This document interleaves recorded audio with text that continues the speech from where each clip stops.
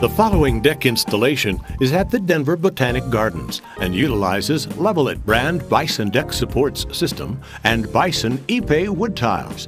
The Denver Botanic Gardens has been a favorite Denver destination for over 55 years and offers an unforgettable artistic garden experience as well as a living laboratory for education and acclaimed conservation and research programs. They are installing a rooftop garden and pedestrian space to inspire and promote the green roof concept. Prior to viewing the installation video, it is recommended to watch the deck planning, specifications, and CAD details section in this video series. Tools needed at the job site include carpenter's pencil, chalk line, 2 foot and 6 foot levels, string or laser level, hammer, rubber mallet, and hacksaw, jig and circular saws, tape measure, construction adhesive, drill or screwdriver when installing wood tiles, and extra shims. When installing a deck with bison deck supports, the perimeter must be contained by a structural wall attached to the building structure.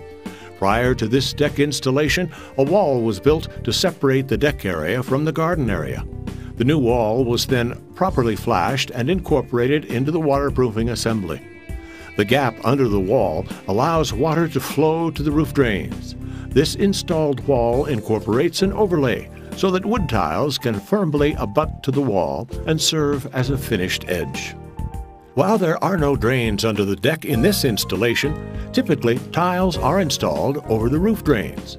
If a roof drain impedes normal pedestal placement, refer to the drain pedestal placement detail for further instruction. View the deck planning video of this series to learn more about our CAD details and specifications. Prior to installation, clean the roof surface of any loose debris.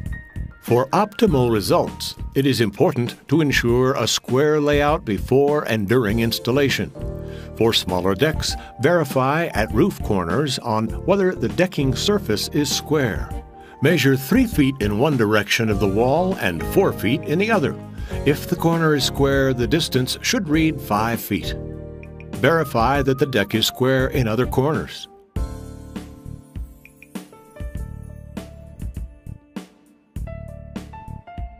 Snap guidelines on the substrate for reference during installation to maintain a square layout of tiles.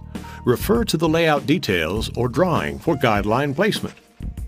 Wood tiles will be cut along the top perimeter, so there are full tiles along the wall. Guidelines on the roof surface will assure an accurate layout.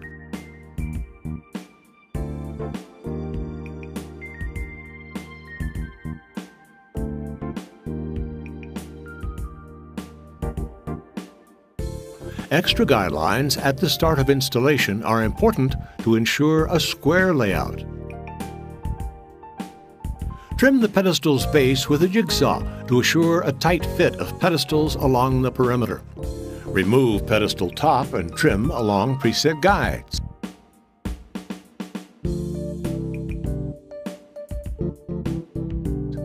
Keep pedestal base rounded and avoid sharp corners that could damage the surface below.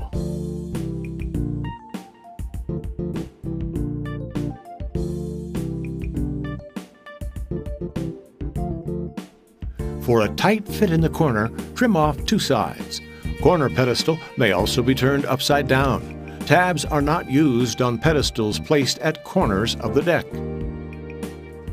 Remove two tabs from pedestals along the perimeter. Tabs may be removed with a hacksaw or hammer in the long direction.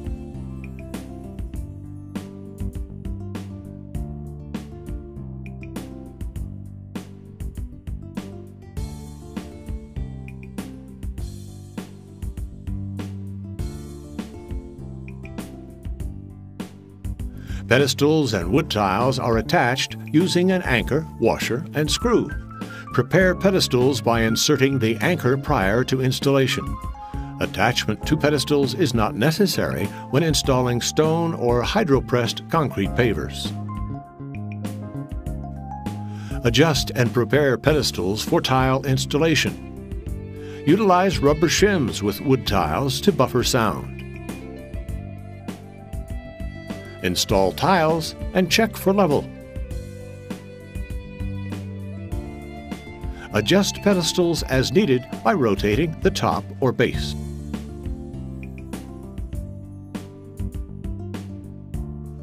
Refer to the tile and paver cutting video of this series for perimeter wood tile cuts. The Bison wood tiles are slotted for easy assembly. Insert the Bison FS1 washer and screw in place. Keep washer loose. Fully tighten after adjacent tiles are installed.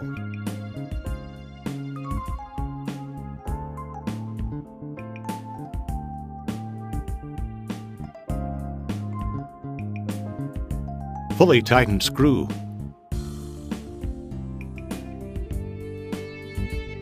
Tap tiles and pedestals with rubber mallet for tight fit.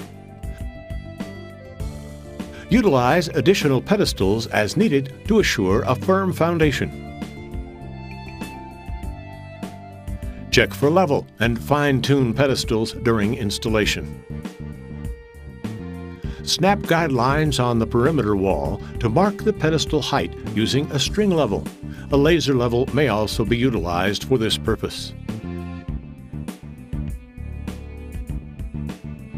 Adjust perimeter pedestals to guideline.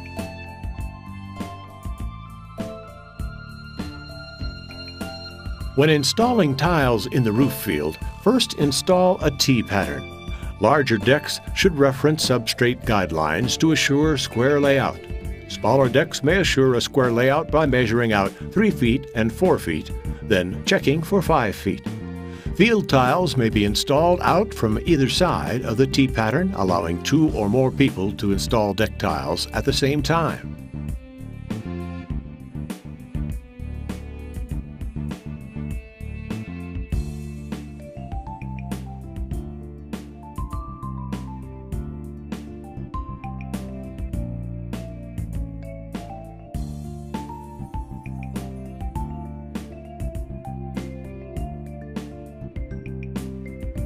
Securing wood tiles along a curved wall requires many special pedestal placements and attachments.